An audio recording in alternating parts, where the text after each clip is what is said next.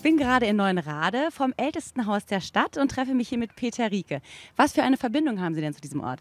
Ja, ich habe hier lange mit meiner Familie gewohnt und habe das für die Familie auch maßgeblich mit zurückgebaut. Und äh, das ist einfach das älteste Haus der Stadt, weil es äh, im 15. Jahrhundert wahrscheinlich schon gebaut wurde. Und dann hat man hier irgendwie die äh, Ursubstanz so wieder hergerichtet, weil die Fensterläden, also da waren zwei Schaufenster drin, ein Oberlichthaustür und ist jetzt alles so zurückgebaut, wie es damals wohl mal gewesen ist. Und es hat auch schon Nachahmer gefunden in der Stadt. Und wieso ist denn das Haus auch auf der Seite so lang gebaut? Die Stadtmauer war also Rücksatz des Hauses und das hat man später so um 1800 abgerissen, weil die Stadtverteidigung war nicht mehr so notwendig in der Urform und dann hat man rechts dann die Steine weggebrochen und hat dann das Haus verlängert bis an die Stadtmauer und so kam man dann äh, einige Meter noch dazu. Vier Meter länger geworden das ganze Haus. Ja, aber äh, wir könnten uns eigentlich auch duzen. Ich bin Peter. Julia. Gerne. Wohin gehen wir denn jetzt? Wir gehen jetzt in den Kirchturm rauf und äh, gucken mal, was da so los ist. Ne?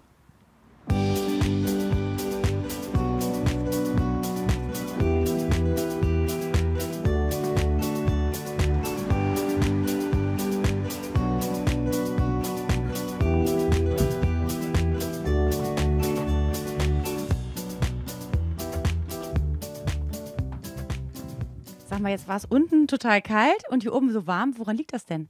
Das liegt an der Abwärme von unserem Sendemast. Wir haben hier ähm, jetzt äh, das ganze Equipment für eine Handymasten hier drin und die Leute mögen das ja oft nicht wegen Elektrosmog und gehen vielleicht auch schon mal mit Bürgerinitiativen auf die Barrikaden. Und die Kirchen verdienen sich schon mal Geld damit, indem sie ihre Kirchtürme als äh, Masten zur Verfügung stellen. Das ist natürlich viel billiger für, den, für denjenigen, der die Dinger aufstellt und für die Kirchen ganz interessant, kriegt man noch ein bisschen Geld damit rein. Und die Abwärme von diesem Kasten hier, von dem Kabuff, die erzeugt hier diese ganze Wärme in dem Turm.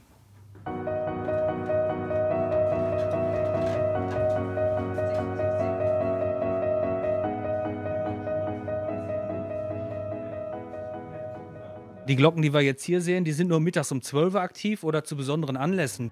Die für uns wichtigen Glocken, eigentlich was Stundenanzeige angeht, die sind oben im kleinen Turm. Da gucken wir gleich mal auf der Seite. Die werden wir uns jetzt zu Gemüte führen.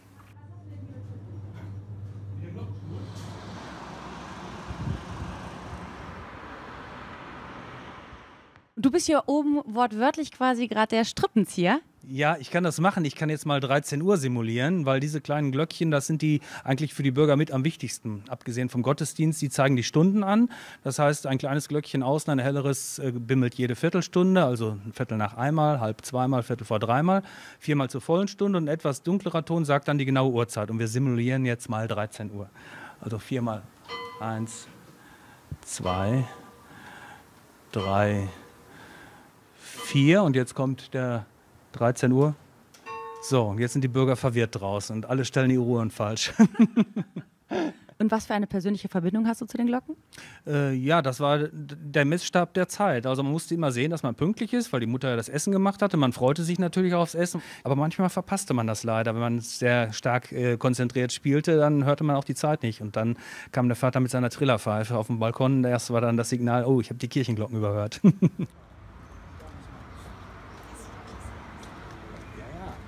Aber es ist übrigens alles auch das ist die Grundschule von uns. Äh, die ist insofern ganz wichtig, weil meine Eltern sind hier schon zur Schule gegangen und ich bin hier zur Schule gegangen. Meine Kinder sind hier zur Schule gegangen und äh, das heißt hier Alte Burg, weil hier früher ein Burgturm gestanden hat. Hier hinter uns dieser Zinnenkranz, der das andeutet.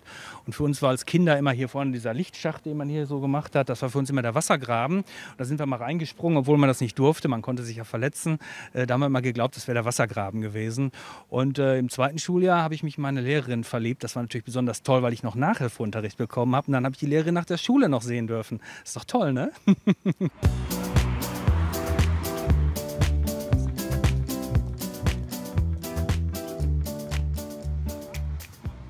Peter ist Neuenrade so klein. Ich meine, erste Straße, zweite Straße, dritte Straße als Namen. Ja, das hat doch was von New York. Ne? So hat New York auch mal angefangen. Aber ich hoffe, dass diese Dimensionen für Neuenrade nicht erreicht werden. Aber es ist doch ein guter Überblick. Man sieht Neuenrade komplett hier drauf. Und ganz oben ist ja auch noch New York zu sehen. Und äh, selbst bis nach Alaska geht es rauf. Also das Wichtigste von der Welt ist auf dieser Karte hier zu sehen. Ne? Der 58-Jährige ist nie aus Neuenrade weggezogen. Der Familienvater fühlt sich in der Stadt mit seinen rund 12.500 Einwohnern einfach pudelwohl.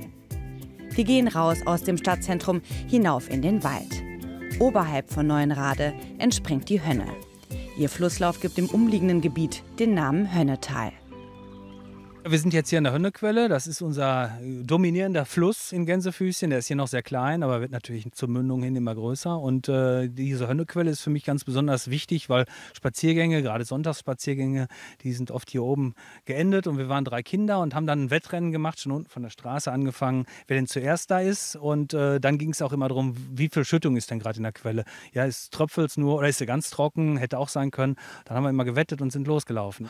Und ich liebe diesen Platz einfach, weil man hier auch eine wunderbare Fernsicht über die Stadt hat und das ist schon, ja, es ist schon ein schöner Aussichtspunkt.